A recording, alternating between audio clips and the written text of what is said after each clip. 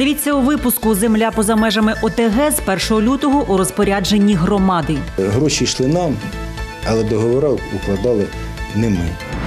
У Черкасах міст по проспекту Хіміків потребує капітального ремонту. Я тут родился и живу, и на машине больше 20 лет он никогда, он только ремонтировался латками. Художниця Дар'я Лада виготовляє романтичні листівки до Дня Святого Валентина. Вони мені дуже легко далися, і хотілося щось таке близьке до життя, трошки комічне.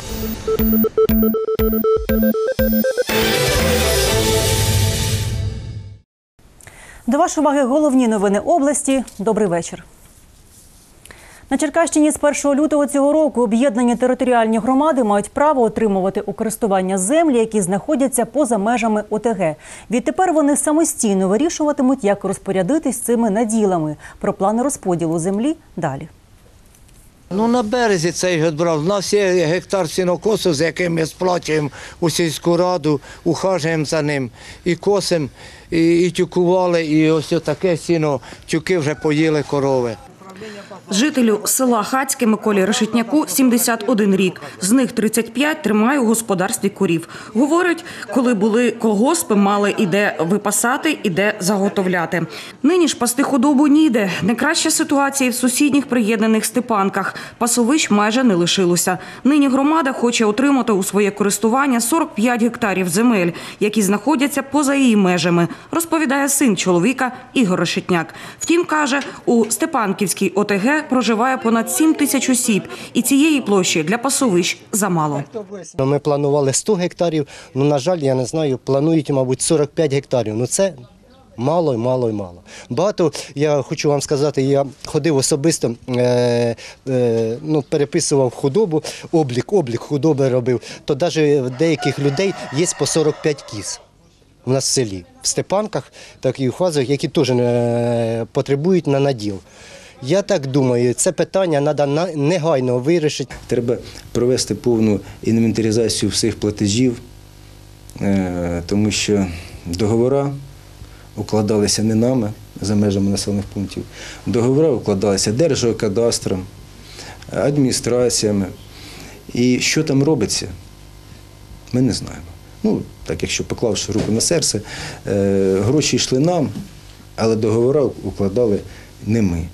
Головному управлінні Держгеокадастру області запевняють, ініціативу уряду щодо приєднання земель у комунальну власність об'єднаних територіальних громад повністю підтримують та обіцяють завершити цей процес до кінця року. Це чудовий перші реальний реальні кроки до централізації. І я думаю, що інші громади це тільки підштовхне для об'єднання і все-таки завершення саме процедури е, в повному обсязі децентралізації, оскільки, наприклад, на Черкащині створено на даний час е, 26 територіальних громад. Аби отримати землі поза межами ОТГ, необхідно подати клопотання до Держгеокадастру. По тому буде підписаний відповідний меморандум, і землі перейдуть у власність громади. І з нетерпінням чекають на це у Білозірській ОТГ. На приєднаних землях планують створити індустріальний парк. Так ми будемо знати, хто є орендар, хто є власник, і повинні вони вносити якусь е, допомогу, соціальний внесок, платити за те, що використовують землі наші громади. І ми можемо розполагати, їх залишилося дуже мало земель, які знаходяться за межами населеного пункту, які ми можемо надати інвестору, де інвестор може збудувати будь-яке підприємство, будь-які сонячні батареї поставити. Це буде питання вирішуватися набагато швидше. Нині поза межами громади знаходиться 100 гектарів землі.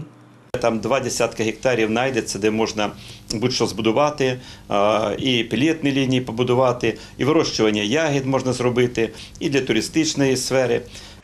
Зі слів начальника головного управління Держгеокадастру області Ольги Залоги, процес передачі земель у власність об'єднаних територіальних громад має завершитися до кінця 2018 року та без змін до законодавства.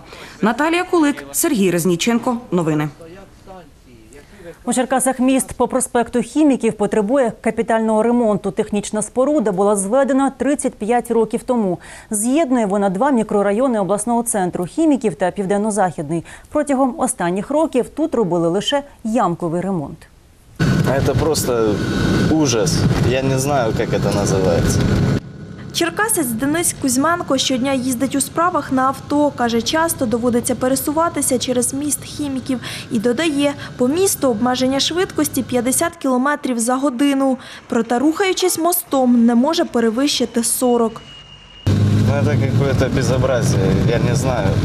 Разве так можно, если раньше его хоть латали, хоть как-то ехать можно было. Сейчас просто звездец. Они дождутся того, что он рухнет, как Шулявский блин. Только тогда кто-то начнет шевелиться. Черкащанин Віктор, водій з чималим стажем, станом мосту незадоволений. Нужен капитальный ремонт моста. Я тут родился и живу, и на машине больше 20 лет он никогда, он только ремонтировался латками. У департаменті архітектури та містобудування Черкаської міської ради кажуть, частково споруду обстежували. У 2016 році проводили інженерно-вишукувальні роботи, але бажаного результату не отримали, пояснює заступник директора департаменту архітектури та містобудування Черкаської міської ради Людмила Слесаренко. У нас була заключена угода на інженерно-вишукувальні роботи на 88 тисяч, але кошти були е, освоєні лише частково. Е, Повністю не змогли освоїти, тому що по плану розпису це був грудень місяць, а такий напрямок робіт в такому місяці просто не виконується. Отож, доки міст по проспекту хіміків до кінця не обстежать, не зроблять проект, а потім його не ухвалять, ремонт не відбудеться. Якщо прорахувати по укрупненим показникам на сьогодні, як ми можемо, бо в нас є ліцензійна програма, то я можу е, сказати, що е, проект буде коштувати десь мільйон двісті. Орієнтовно, ще раз оголошую, це по укрупненим показникам. І відштовхуючись вже від проектних робіт, то вартість ремонту цього об'єкту також орієнтовно може коштувати біля 30 мільйонів. Ольга Котляр, Олександр Кулик. Новини. На Черкащині під час пожежі загинуло подружжя пенсіонерів. Сьогодні близько сьомої ранку загорівся житловий будинок у Тубільцях. Про пожежу рятувальникам повідомили жителі села. У задимленому помешканні пожежники знайшли тіла двох літніх людей. Причини пожежі з'ясовують, інформує прес-служба ДСНС області. Сьогодні у Соснівському районному суді Черкас мало відбути слухання справи командира Луганського Беркуту Валерія Костенка. Його звинувачують у розгоні активістів та журналістів у середмісті Черкас 26 січня 2014 року. Судять Костенка заочно, оскільки зараз він служить в ЛНР. Утім, зі сторони беркутівця ніхто не з'явився, тож засідання перенесли на 12 березня. Без е, наявності самого обвинуваченого, тому е, у всякому разі обов'язковою є е, участь захисника у провадженні. Вважаю, що неможливо на даний час розглядати через відсутність захисника. Романтичні листівки до Дня Святого Валентина створює черкаська художниця Дар'я Лада, дизайнер інтер'єру за освітою. Дівчина заради розваги захопилась створенням кумедних ілюстрацій. Нині у її колекції сім листівок, які тематично зібрані в одну серію і мають назву Любовка. Починаю з створення попереднього ескізу, персонажу, розробки на папері, потім сканую, переношу до комп'ютера, е, обробляю в- на на графічному планшеті і, власне, удосконалюю саму ілюстрацію. Від ескізу звичним олівцем до різнобарвного втілення любові. Черкаська художниця Дар'я Лада за освітою дизайнер інтер'єру створила серію листівок, героями яких стали чоловік та жінка. Вони мені дуже легко далися, і хотілося щось таке близьке до життя, трошки комічне, е, не зобразити любов, яку ми її е, звикли бачити конкретно між чоловіком і жінкою. Це могла бути і любов і до певної якоїсь справи. Е, Ну, хотіла зобразити людей, натхненних чимось. Створювати листівки Дар'я почала не так давно. На першій зобразила хлопця, який поспішає дарувати коханій подарунок. Захопилася, почала розвивати тему, вигадувати сюжети та обігрувати романтичні ситуації у стосунках. Нині дівчина приділяє новому хобі увесь вільний час.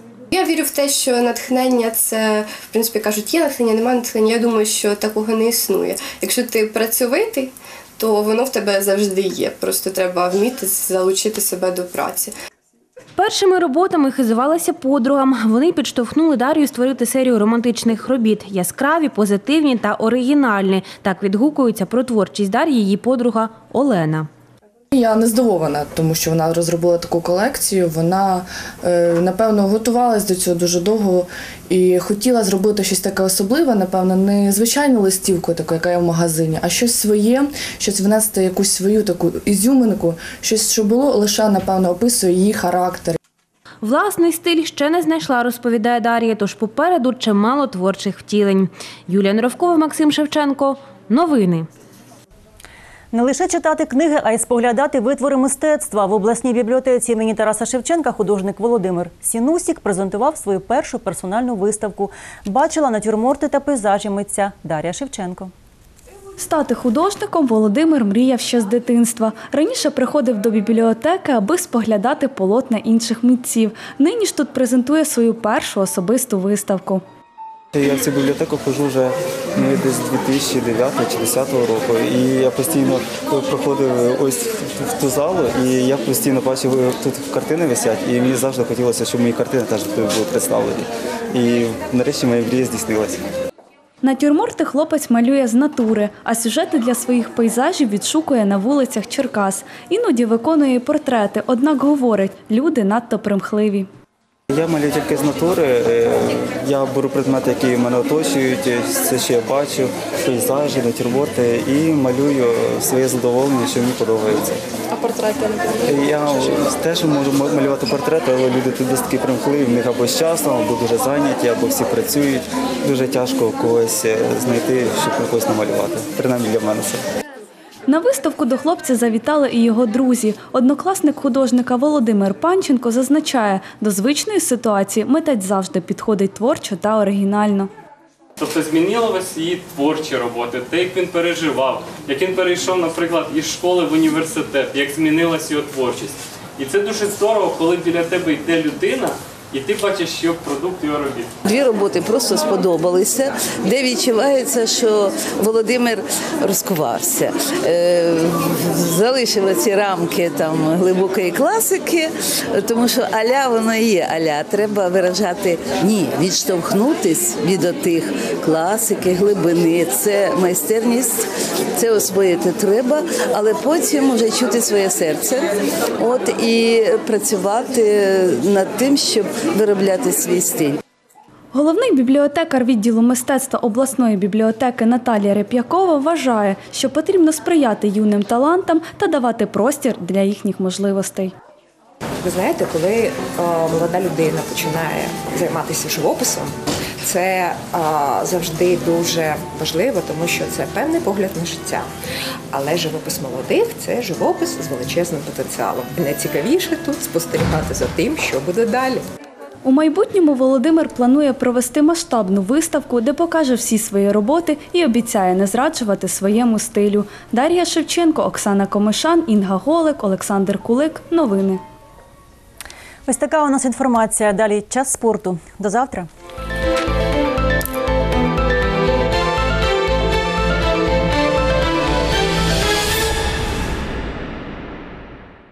У студії працює Олена Нечитайло. Про досягнення черкасців розповімо у найближчі 5 хвилин. Добрий вечір.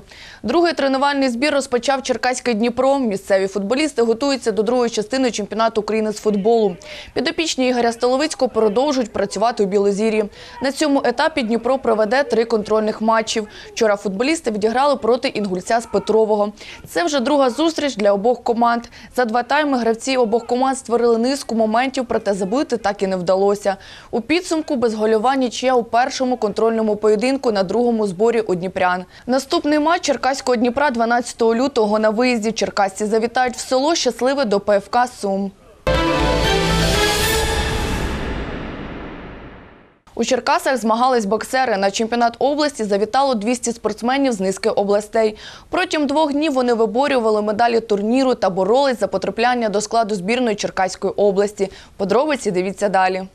Боксери області на ринзі спортивного клубу «Вулкан» обласний центр приймає чемпіонат серед чоловіків та молоді, а також паралельно відкритий турнір міста серед юнаків. Загалом 18 команд змагаються за медалі. Спортсмени приїхали з Чигирина, Золотоноші, Умані та Канева. Соревнования имеют чрезвычайно важное значение, потому что э, боксеры должны за год набирать где-то около 10-15 боев для опыта. Вот с этих боев это все и начинается. Я хочу, чтобы чемпионат прошел обязательно, чтобы здесь присутствовала дружба, чтобы здесь присутствовало уважение, чтобы здесь присутствовало уважение к противнику, чтобы дети воспитывались мужественными, э, честными защитниками нашей Родины. Олександр Тимошенко новачок у цьому виді спорту. Лише рік спортсмен займається боксом. До чемпіонату області юнак готувався кожного дня. Свою вдалу підготовку він і продемонстрував у першому поєдинку, у якому здобув перемогу. Цього чемпіонату ну, кожен день ходив на тренування, е, там, відрабатував серії. А цей чемпіонат ну, важливий для мене теж. Ну, кожні змагання важливі. Готувався як до всіх змагань. Найтяжче було ну, пробивати ну, серії, а найкраще виходили бокові удари.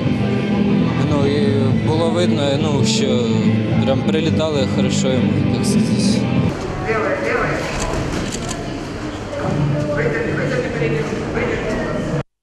Ще один поєдинок провів Андрій Смірнов з Умані. 13 років він будує свою спортивну кар'єру. Юнак вийшов на ринг проти черкаського боксера Володимира Савійська. Боксери зуміли виявити переможця лише за сумою балів. До останньої хвилини було невідомо, хто здобуде перемогу. Проте судді віддали перевагу уманчанину.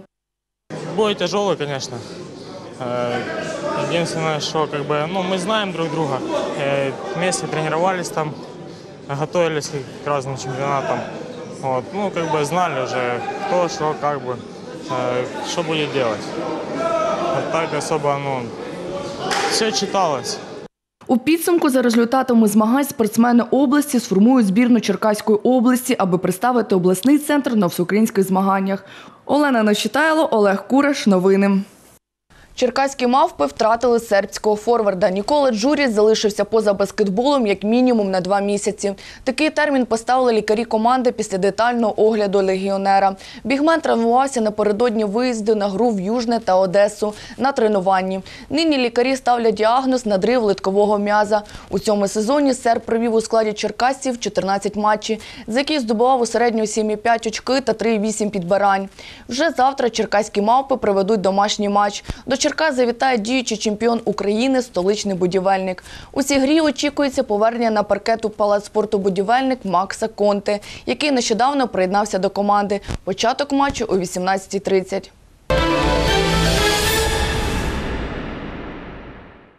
А вже завтра останні новини цього тижня. Дякую, що з нами. До зустрічі у цій студії.